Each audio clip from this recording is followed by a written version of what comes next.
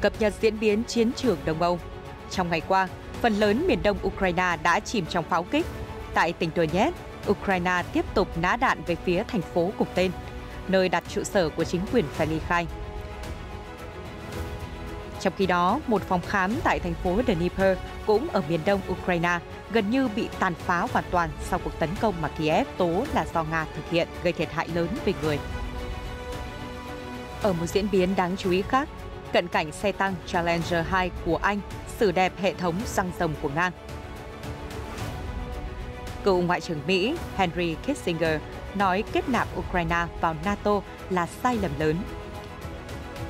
Các tin tức quốc tế chính yếu khác Mối quan hệ Mỹ-Trung Quốc sẽ thống trị chương trình nghị sự của APEC. Hàn Quốc và Đức ký hiệp ước thông tin để tăng cường hợp tác quốc phòng người dân Hồng Kông chào đón lễ hội bánh bao trở lại sau 3 năm đại dịch. Danh ca Celine Dion hủy chuyến biểu diễn vì lý do sức khỏe. Nội dung chi tiết sẽ được gửi đến quý vị trong chương trình ngày hôm nay.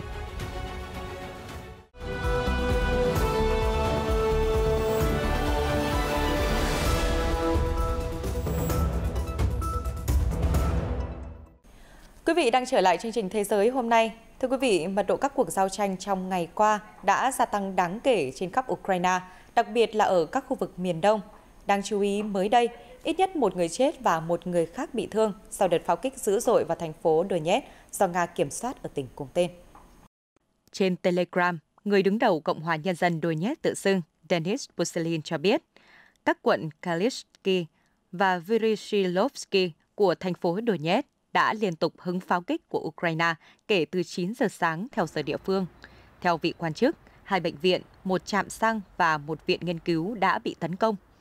Một quan chức thuộc Ủy ban điều tra Nga nói với Reuters, nạn nhân thiệt mạng sau đợt pháo kích của Ukraine được xác định là một phụ nữ 36 tuổi. Reuters chưa thể xác minh các thông tin trên. Hiện Ukraine cũng không có phản ứng về vụ tấn công. Thành phố Donetsk là thủ phủ tỉnh cùng tên ở miền đông Ukraine một trong bốn khu vực của Ukraine tổ chức trưng cầu dân Ý sáp nhập vào Nga hồi năm ngoái. Kể từ khi xung đột nổ ra, Donetsk và vùng lân cận Luhan đã liên tục bị quân đội Ukraine tấn công, gây nhiều thiệt hại về người. Trong khi đó, cùng ngày, phía Kiev tố tên lửa Nga đã rơi trúng một phòng khám ở thành phố miền đông Dnipro, khiến hai người thiệt mạng và 30 người khác bị thương, trong đó có hai trẻ em. Đoạn video quay lại cảnh hiện trường cho thấy phần lớn tòa nhà ba tầng bị hư hại nghiêm trọng. Tổng thống Ukraine Volodymyr Zelensky đã lên án mạnh mẽ cuộc tấn công trong một bài đăng trên mạng xã hội. Theo chính quyền địa phương, một người đàn ông 69 tuổi đã thiệt mạng khi đi ngang qua phòng khám, trong khi thi thể của một người đàn ông khác được tìm thấy dưới đống đổ nát.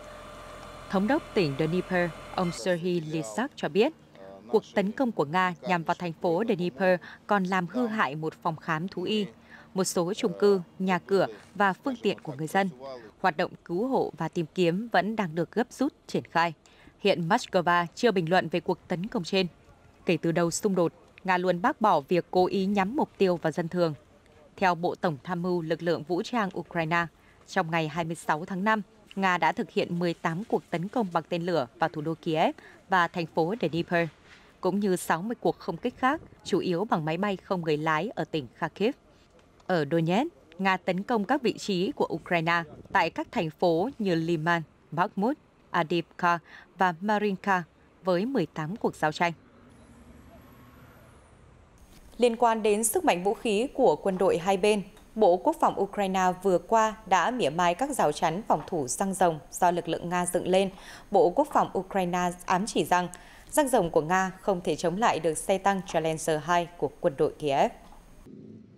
Xe tăng Challenger 2 là dòng xe tăng chiến đấu chủ lực của Vương quốc Anh và được cung cấp cho Ukraine.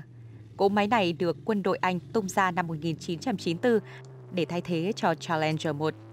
Chức năng chính của Challenger 2 là tiêu diệt các xe tăng khác. Ngày 25 tháng 5, trang Twitter của Bộ Quốc phòng Ukraine đã chia sẻ một đoạn video cho thấy một chiếc xe tăng Challenger 2 đã xới tung mặt đất tại một địa điểm không xác định. Chiếc xe tăng kéo lê răng rồng của Nga dọc theo đường đi. Bộ Quốc phòng Ukraine viết, Challenger 2, nếu có thứ gì gọi là răng rồng thì phải có một nhà sĩ rồng.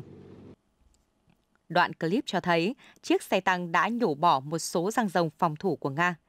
Răng rồng là một chướng ngại vật chống tăng hình chóp được làm bằng bê tông. Chúng đã được sử dụng để cản trở sự di chuyển của xe tăng và bộ binh từ thời đệ nhị thế chiến.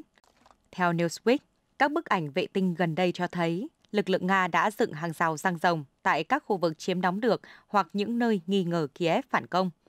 Hồi tháng 4, Reuters đã chia sẻ hình ảnh vệ tinh do công Capella Space ở Mỹ ghi lại.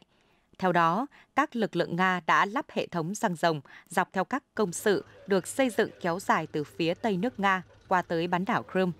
Tuy nhiên, Ukraine đã thách thức hệ thống phòng thủ của Nga và điều đó thể hiện qua video xe tăng Challenger 2 cây sới răng rồng.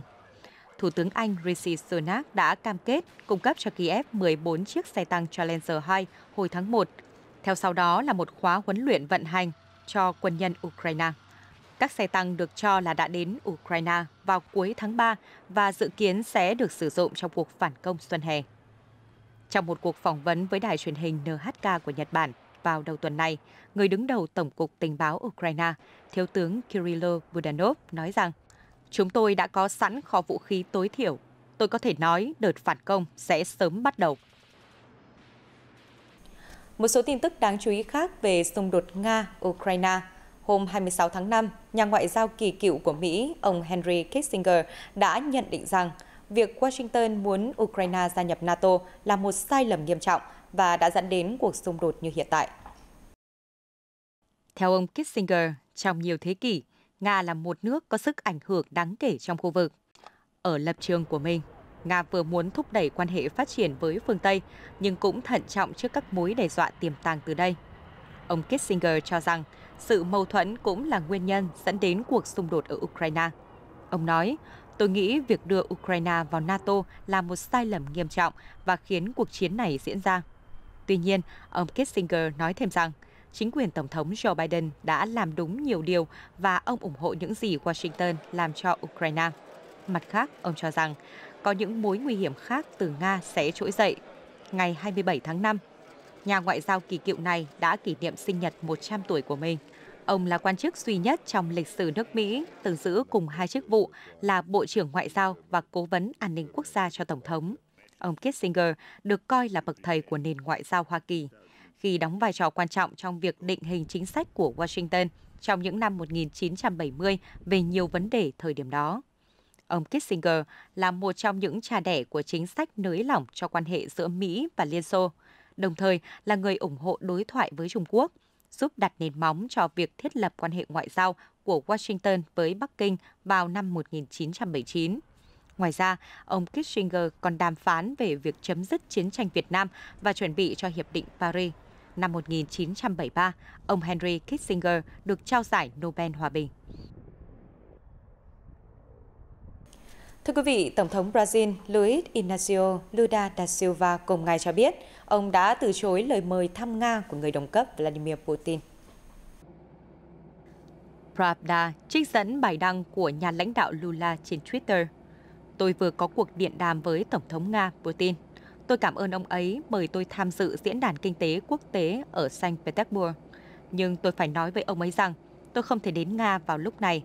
Tôi có nhắc lại lập trường của Brazil về việc sẵn sàng cùng Ấn Độ, Indonesia và Trung Quốc làm trung gian hòa giải cho khủng hoảng Nga-Ukraine. Theo Tổng thống Brazil, ông đã thảo luận với Trung Quốc và các tiểu vương quốc Ả Rập Thống nhất UAE về các biện pháp giải quyết cuộc chiến ở Ukraine – đồng thời kêu gọi thành lập một liên minh chính trị để thực hiện nỗ lực này. Gần đây, ông Lula thường xuyên hứng chịu chỉ trích của phương Tây vì thái độ quá thiện chí với Nga. Tháng trước, Tổng thống Brazil từng gợi ý Ukraine nên từ bỏ bán đảo Crimea để kết thúc cuộc chiến. Đáp lại, Kiev cho biết họ không muốn bán lãnh thổ của mình. Cũng trong ngày 26 tháng 5, Đức Giáo hoàng Francis nói rằng Ukraine không cần các nhà hòa giải vì họ cảm thấy có đủ sức mạnh. Trước đây, Tổng thống Zelensky từng nói rằng điều Ukraine thật sự cần là một nền hòa bình công chính. Phát biểu với kênh truyền hình Telemundo, Ngài nói Kiev không mơ tưởng lắm về hòa giải vì khối Ukraine thực sự rất mạnh. Toàn bộ châu Âu và Mỹ, nói cách khác, họ có một sức mạnh rất lớn của riêng mình.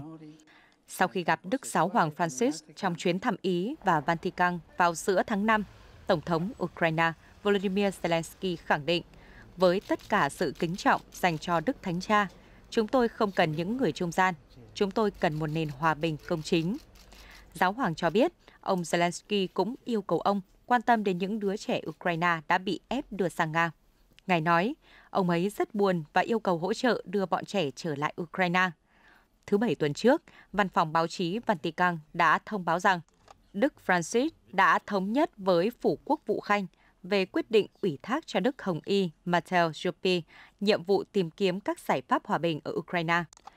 Đức Hồng Y Matteo Zuppi hiện cũng là Tổng giám mục Bologna và Chủ tịch Hội đồng Giám mục Italy. Thông báo này được đưa ra sau khi Giáo Hoàng nói với các phóng viên về một sứ mệnh hòa bình bí mật của Vatican ở Ukraine. Cả Kiev và Moscow đều nói là không biết về kế hoạch này. Chuyển qua các tin tức quốc tế nổi bật khác, Mới đây, đại diện thương mại Hoa Kỳ Catherine Tai đã bày tỏ hy vọng rằng các nhà lãnh đạo của Diễn đàn Hợp tác Kinh tế Châu Á-Thái Bình Dương APEC sẽ có một tuyên bố chung thống nhất tại hội nghị thượng đỉnh sẽ diễn ra vào tháng 11 ở Seattle. Trước đó, các bộ trưởng thương mại đã không thống nhất về tuyên bố liên quan đến Ukraine do sự phản đối của Nga và Trung Quốc. Bà Tai cho biết một tuyên bố chung là chắc chắn có và tất cả 21 nền kinh tế trong APEC sẽ phải làm việc với điều này. Mối quan hệ giữa Mỹ và Trung Quốc dự kiến sẽ thống trị chương trình nghị sự. Tổng thống Mỹ Joe Biden và Chủ tịch Trung Quốc Tập Cận Bình đã cam kết sẽ liên lạc thường xuyên hơn tại hội nghị thượng đỉnh G20 ở Indonesia năm ngoái. Trong cuộc họp gần đây, bà Tai bày tỏ sự phản đối với Bộ trưởng Thương mại Trung Quốc – bà Tai đã đưa ra những phàn nàn về các chính sách kinh tế của Trung Quốc. Tuy nhiên, ở phía Trung Quốc, nước này nhấn mạnh sự cần thiết của việc Washington và Bắc Kinh duy trì liên lạc về thương mại. Bà Tai cũng lo ngại các hành động của chính phủ Trung Quốc đối với các doanh nghiệp Mỹ đang hoạt động tại quốc gia tỷ dân. Bộ trưởng Thương mại Trung Quốc Vương Văn Đào cũng đã đưa ra những phàn nàn về các chính sách kinh tế và thương mại của Mỹ, bao gồm áp đặt thuế quan lên hàng hóa Trung Quốc, các vấn đề kinh tế liên quan đến đảo Đài Loan và việc loại trừ Bắc Kinh ra khỏi khuôn khổ kinh tế Ấn Độ Dương-Thái Bình Dương, IPEF. Reuters đưa tin gần đây, Tổng thống Hàn Quốc Yoon suk yeol cho biết Hàn Quốc và Đức sẽ sớm ký một thỏa thuận nhằm bảo vệ bí mật quân sự để tăng cường hợp tác quốc phòng. Trong buổi họp báo chung với Thủ tướng Đức Olaf Scholz tại Seoul, ông Yun cho biết thỏa thuận thông tin quân sự sẽ giúp chuỗi cung ứng công nghiệp quốc phòng trong bối cảnh nền kinh tế và chính trị toàn cầu bất ổn. Hàn Quốc gần đây cũng đã theo đuổi hiệp ước thông tin tương tự với Canada. Quốc gia châu Á này đã chuyển sang mở rộng ngành công nghiệp quốc phòng sau cuộc chiến ở Ukraine và những căng thẳng toàn cầu khác. Ông Sean đã lên án các vụ thử tên lửa của Bình Nhưỡng Ông nói, việc Triều Tiên phóng tên lửa đạn đạo không chỉ vi phạm luật pháp quốc tế mà còn gây nguy hiểm cho người dân Hàn Quốc, Nhật Bản và toàn khu vực. Đức cực kỳ lên án hành động vô trách nhiệm này. Trước đó, ông Sean đã đến thăm khu phi quân sự DMZ ngăn cách hai miền Triều Tiên. Trong một cuộc họp ở Geneva hôm thứ Năm 25 tháng 5, Bộ trưởng Bộ Ngoại giao Ai Cập Sameh Sukri và cao ủy viên Liên Hợp Quốc về người tị nạn Filippo Grandi đã thảo luận về sự cần thiết phải hỗ trợ các nỗ lực của Ai Cập trong việc mở rộng chăm sóc nhân đạo và y tế, cũng như viện trợ tại biên giới cho những người di tản đang trốn chạy khỏi cuộc xung đột ở Sudan. Tuyên bố của Bộ Ngoại giao Ai Cập cho biết, điều này thể hiện cam kết của Ai Cập kể từ khi bắt đầu cuộc khủng hoảng Sudan về việc mở cửa biên giới cho những người trốn chạy khỏi cuộc xung đột. Hoạt động này phù hợp với các nghĩa vụ quốc tế và khu vực của Ai Cập. Bộ Ngoại giao cho biết, Ai Cập đã tiếp nhận 121.000 công dân từ Sudan, hầu hết là phụ nữ, trẻ em và người già. Cơ quan này cho biết thêm, hai bên đã thảo luận về việc tăng cường mối quan hệ hợp tác giữa Ai Cập và UNHCR trước những gánh nặng to lớn mà chính phủ phải gánh chịu khi tiếp đón 9 triệu người di cư và tị nạn. Trong cuộc họp, ông Sukri đã xem xét chính sách của Ai Cập đối với người di cư và người tị nạn dựa trên việc tôn trọng nhân quyền, tôn trọng phẩm giá của họ không phân biệt đối xử giữa họ và công dân Ai Cập và cung cấp các dịch vụ bình đẳng cho họ, đặc biệt là về y tế và giáo dục.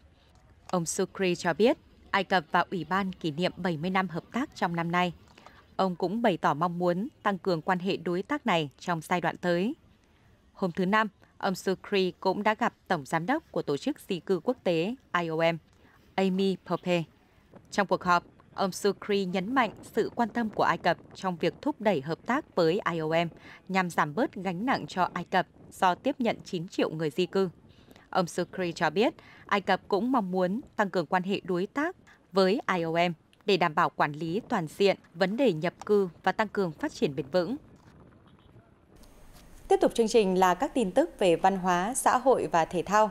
Thưa quý vị, mới đây lễ hội bánh bao tại đảo Trường Châu, cách trung tâm Hồng Kông khoảng 16 km đã trở lại vô cùng náo nhiệt sau 3 năm đại dịch Covid-19. Hàng chục nghìn người dân Hồng Kông và khách du lịch đã đổ về Trường Châu để tham gia cuộc diễu hành náo nhiệt của lễ hội bánh bao. Những đứa trẻ hóa trang thành thần được rước qua các con đường trên đảo trong giai điệu truyền thống cùng màn múa lân náo nhiệt. Trong lễ hội, một hoạt động không thể thiếu là cuộc thi thu thập bánh bao. 12 người tham gia đã leo lên tòa tháp cao hơn 18 mét và cướp bánh bao. Đặc biệt, ai lấy được chiếc bánh may mắn ở trên đỉnh tháp sẽ mang lại may mắn cho gia đình. Giống như các khu vực khác ở Trung Quốc đại lục, Hồng Kông đã áp đặt chặt chẽ các chính sách Zero Covid-19 kể từ đầu dịch. Đến giữa năm ngoái, khu vực bắt đầu nới lỏng các quy tắc, tạo điều kiện cho các lễ hội trở lại. Lễ hội bánh bao lần đầu được tổ chức vào năm 1964 là dịp để người dân bày tỏ lòng biết ơn với các vị thần đã giúp họ xua đuổi dịch bệnh. Lễ hội năm nay kéo dài trong 7 ngày, chung với lễ Phật đàn. Thưa quý vị, sau nhiều thập kỷ bị đưa ra khỏi Mexico một cách bất hợp pháp vào cuối những năm 1960, cổ vật cổng vào thế giới ngầm của nền văn minh Olmec cổ đại vừa trở về quê hương từ Denver, Mỹ trên một chiếc máy bay của lực lượng không quân Mexico. Theo một báo cáo của chính phủ, cổ vật có tên chính thức là Đài tưởng niệm số 9 của Chacastingo. Tượng đài mô tả ngọn đồi Chacastingo ở miền trung Mexico, cao 1,8 mét rộng 1,5 mét và được chạm khắc bằng đá núi lửa. Các chuyên gia nhận định, cổ vật này thuộc kỳ giữa thời tiền cổ điển 800 đến 400 trước công nguyên. Sau khi bị đưa khỏi Mexico, đài tưởng niệm được trưng bày tại Bảo tàng Metropolitan, Mỹ từ năm 1970. Ngoại trưởng Mexico Marcelo Ebrard cho biết, cổ vật này có ý nghĩa to lớn đối với bản sắc Mexico. Olmec là một trong những nền văn minh lâu đời nhất ở khu vực Trung Bộ châu Mỹ, tồn tại và phát triển từ năm 1200 đến 400 trước công nguyên. Mới đây, ca sĩ nhạc pop người Canada Celine Dion đã thông báo hủy toàn bộ các buổi biểu diễn ở châu Âu trong chuyến lưu diễn Courage World Tour vì lý do sức khỏe, thông tin được Reuters đăng tải. Thông báo được nữ danh ca 55 tuổi đưa ra 4 tháng sau khi bà được chuẩn đoán mắc hội chứng cứng người co thắt cơ, một bệnh rối loạn thần kinh rất hiếm gặp, có tỷ lệ mắc 1 trên 1 triệu người. Vào thời điểm đó, giọng ca My Heart Will Go On đã buộc hoãn chuyến lưu diễn châu Âu để tập trung chữa bệnh. Chia sẻ trên Telegram hôm 26 tháng 5, Celine Dion viết, Tôi rất xin lỗi vì một lần nữa làm các bạn thất vọng. Dù điều này khiến tôi rất buồn, nhưng việc ngừng biểu diễn cho đến khi tôi thực sự sẵn sàng trở lại sân khấu là giải pháp tốt nhất vào lúc này. Tôi sẽ không bỏ cuộc, tôi vẫn đang nỗ lực để phục hồi sức khỏe và gặp các bạn. Theo kế hoạch, chuyến lưu diễn châu Âu của Celine Dion có 42 buổi biểu diễn tại 7 thành phố từ cuối tháng 8 đến đầu tháng 4 và 17 thành phố khác vào mùa xuân năm sau. Nữ danh ca cho biết, tất cả những người mua vé sẽ được hoàn lại tiền. Celine Dion là một trong những ca sĩ sở hữu thành tích đáng nể nhất mọi thời đại, với hơn 200 triệu đĩa bán ra trên toàn cầu. Bà từng giành 5 giải Grammy trong 40 năm sự nghiệp cầm mic. Đến với những chuyển động thể thao quốc tế, thưa quý vị, huấn luyện viên Arne Slot chấm dứt đồn đoán chuyển đến Tottenham Hotspur mùa tới khi thành công gia hạn hợp đồng cùng Tân Vương giải vô địch quốc gia Hà Lan Feyenoord. Chiến lược gia 44 tuổi sẽ tiếp tục dẫn dắt đội bóng Rotterdam đến tháng 6 năm 2026. Bản thân Slot có nhiều động lực cùng Feyenoord bảo vệ chức vô địch Eredivisie và thi đấu tại UEFA Champions League vào năm sau. Với Spurs, kể từ khi sa thải nhà cầm quân Antonio Conte, họ đã bị bốn huấn luyện viên từ chối dẫn dắt. Việc mất suất sự cúp châu Âu được cho là trở ngại lớn khiến Tottenham khó tìm được một huấn luyện viên giỏi. Cũng ở châu Âu, cơ quan cứu hộ hàng hải Tây Ban Nha vừa qua cho biết thêm một tàu du lịch bị cá voi sát thủ làm hư hại tại vùng biển phía nam nước này gần Bồ Đào Nha. Đây là một trong số hàng chục vụ tấn công của cá voi sát thủ nhằm vào tàu thuyền được cơ quan chức năng Tây Ban Nha ghi nhận trong năm nay. Người phát ngôn của cơ quan cứu hộ cho biết, con tàu tên Mystical treo cờ Anh bị đàn cá voi tấn công khi đang trên đường hướng đến eo biển Gibraltar. Thân phương tiện bị thủng và bánh lái bị hư hại. Một số hành khách đã liên hệ với cơ quan chức năng để tìm kiếm sự giúp đỡ. Các lực lượng khẩn cấp đã nhanh chóng điều tàu phản ứng nhanh và trực thăng đến hiện trường, tham gia chiến dịch cứu nạn cứu hộ. Tàu Mystical với chiều dài 20 mét, sau đó đã được kéo về cảng Barbet thuộc tỉnh Cadiz để sửa chữa. Đầu tháng 5, một con tàu khác mang tên Aberan Champagne đã bị chìm hoàn toàn sau cuộc tấn công của đàn cá voi ở khu vực ngoài khơi cách cảng Barbet của Tây Ban Nha gần 6 km. Bộ Giao thông Vận tải Tây Ban Nha đã ban hành hướng dẫn cụ thể cho các tàu thuyền lưu thông qua vùng biển phía Nam. Cụ thể, nếu nhận thấy bất kỳ sự thay đổi nào trong hành vi của cá voi sát thủ như đột ngột chuyển hướng hoặc thay đổi tốc độ, các tàu thuyền hãy rời đi nhanh nhất có thể, hạn chế tác động đến chúng và thông báo cho cơ quan chức năng. Cá voi sát thủ thuộc họ cá heo và đang có nguy cơ tuyệt chủng. Một cá thể trưởng thành có thể dài đến 8 mét và nặng đến 6 tấn. Trong khi đó, tại một sở thú ở London, Vương quốc Anh, một nhóm con chuột sóc nâu quý hiếm vừa trải qua cuộc kiểm tra sức khỏe toàn diện trước khi được trở về với môi trường tự nhiên.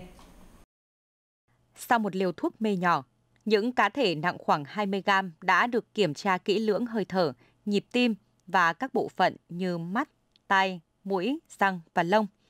Tiến sĩ Alice Summerfire Smith, bác sĩ thú y tại Hiệp hội Động vật học London cho biết, chúng tôi cũng cấy vào một vi mạch để có thể theo dõi những con vật ở môi trường tự nhiên. Theo kế hoạch, các con chuột sắp nâu sẽ được thả tại một địa điểm bí mật ở Anh vào tháng tới, như một phần trong chương trình đưa các loài động vật hoang dã trở về môi trường sống của chúng ở nước này. Nội dung vừa rồi cũng đã kết thúc bản tin ngày hôm nay. Cảm ơn quý vị đã dành thời gian quan tâm theo dõi. Xin kính chào tạm biệt và hẹn gặp lại.